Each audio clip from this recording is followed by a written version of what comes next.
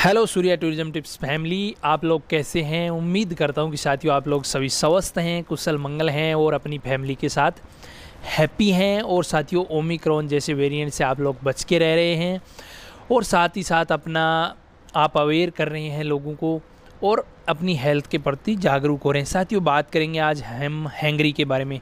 क्या Hungary Schengen country है? Hungary कैसे जाएँ? हैंगरी कहाँ पड़ता है, हैंगरी की वीज़ा प्रोसेस क्या है, सैलरी क्या मिलती है, वहाँ की करेंसी क्या है, इन सब के बारे में मैं आपको डिटेल से बताऊँगा।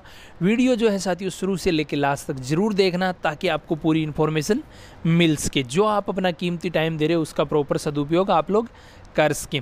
साथियों, चैनल को जो है सब्सक्राइब ज़रूर कर लेना। फ्री ऑफ़ कॉस्ट है, किसी प्रकार का कोई चार्ज नहीं है। बेल आइकन ज़रूर दबाएँ ताकि आपको ऐसे लेटेस्ट नोटिफिकेशन मिलते रहें। साथियों, बात करते हैं सबसे पहले कि हैंगरी सेनिगन कंट्री है कि नहीं है। साथियों, मैं आपको बता दूँ, हैंगरी जो है सेनिगन कंट्री है। बिल्कुल हैंगरी जो है सेनिगन कंट्री है। आप सेनिगन वीज़ा आपके पास है तो आप हैंगरी भी ट्रेवल कर सकते हो। सेकंड साथियों जो है, हैंगरी है, वो पड़ता का है? साथियों, हैंगरी जो है, यूरोप के बिल्कुल सेंटर में पड़ता है। बिल्कुल मतलब बिल्कुल सेंटर के अंदर है और हैंगरी एक लैंड लॉक्ड कंट्री है। लैंड लॉक्ड का मतलब होता है, साथियों, चारों ओर से समुद्री तल ना होकर धरती।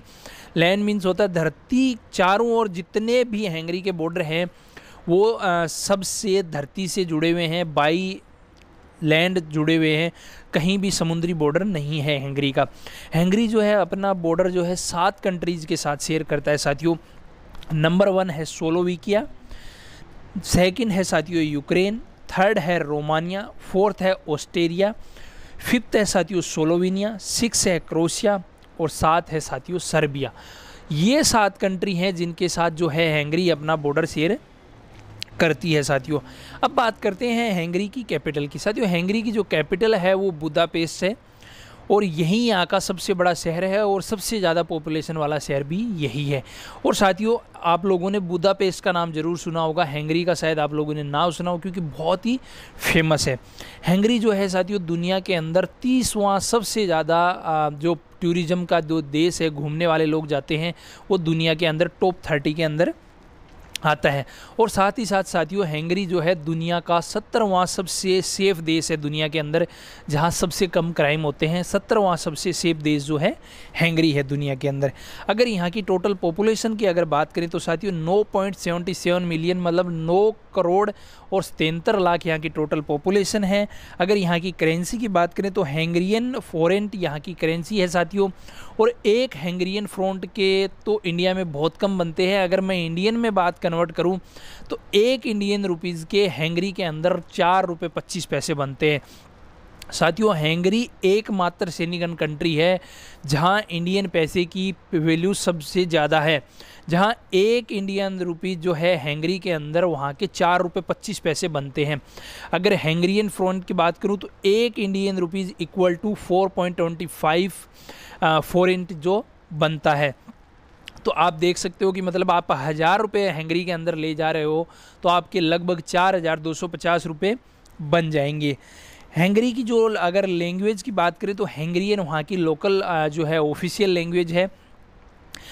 हैंगरी को साथियों, हैंगरी दुनिया में अगर बोले तो एकमात्र कंट्री भी बोल सकते हो या और भी बहुत सारी कंट्री हैं। हैंगरी जो है हर कैटेगरी के अंदर नोबेल प्राइज़ जीता है। कोई भी कैटेगरी हो, चाहे वो भूगोल हो, चाहे वो इकोनॉमिक्स हो, चाहे वो किसी भी प्रकार की कैटेगरी हो, जिसमें नोबेल प्राइज़ इन्होंने जीता है। हैंगरी के पास तेरह नोबेल प्राइज़ है साथियों, जो अब तक हैंगरियन लोगों ने जीते हैं। अब बात करते हैं कि हैंगरी की वीज़ा की प्रोसेस क्या है। अगर विज़िट वीज़ा की मैं बात करूँ तो साथियों, हैंगरी का जो विज़िट वीज़ा है, वो सेनीगन के ही अंदर आता है। आपको सेम प्रोसेस जो अगर आप जर्मनी के लिए कर रहे हो, इटली के लिए कर रहे हो, पोलैंड के लिए कर रहे हो तो सेम प्रोसेस जो है आपको हैंगरी के लिए करना पड़ेगा। क्योंकि हैंगरी का जो वीज़ा है, वो सेनीगन वीज़ा है और सेनीगन वीज़ा जो है आपको सेम प्रोसेस है सभी कंट्रीज़ के लिए। फ़र्स्ट टाइम जो हैंगरी वीज़ा है, वो सिक्स मंथ का ही आपको मिलेगा, जिसमें आप नाइन्टी डेज़ मतलब थ्री मंथ आप स्टे कर सकते हो। अब बात करते हैं कि वर्क वीज़ा कैसे है और क्या सैलरी क्या मिलती है। अब बात करते हैं कि हैंगरी के अंदर सबसे ज़्यादा जॉब सेक्टर वाले सेक्टर कौन से हैं जिसमें जॉब मिलती है? मैं आपको बता दूँ साथियों नंबर वन जो है वहाँ बैंकिंग के अंदर जॉब मिलती है।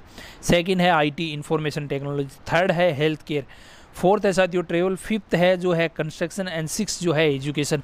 ये वहाँ की छः सबसे बड़ी इंडस्ट्री हैं जिसके अंदर सबसे ज़्यादा जॉब्स जो है मिलती हैं।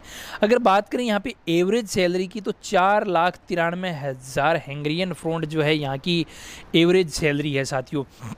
अगर चार लाख तिरानवे हज़ार है तो अगर हम इसको अगर कन्वर्ट करें तो लगभग एक लाख जो है इंडियन रुपीज़ जो है, आराम से यहाँ पे सैलरी आपको मिल जाती है। बहुत ही इजी प्रोसेस जो है साथियों।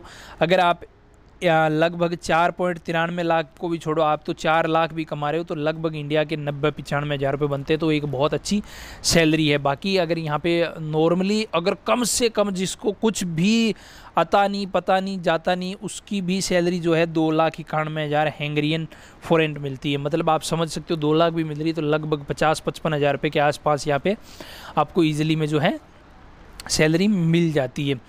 वर्क वीज़ा की बात करें तो साथियों, जो वर्क वीज़ा है, वो आपको दो साल का मिलता है और आप उसको आगे जिस कंपनी के साथ रिन्यूअल होता रहता है। ये मेन फैक्ट है साथियों, अगर आपको हैंगरी के लिए और कोई इन्फॉर्मेशन चाहिए, कोई हेल्प चाहिए तो वीडियो की स्क्रीन एंड डिस्क्रिप्शन में मेरे व्हाट्सअप नंबर हैं तो आप मुझे कॉन्टेक्ट कर सकते हैं।